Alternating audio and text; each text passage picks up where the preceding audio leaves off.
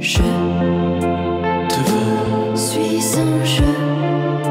d'esprit, Je t'aurais est un jeu. de mots, Je monterais sur le toit pour jouer au jeu. du chat, Et je souris. je tomberais dans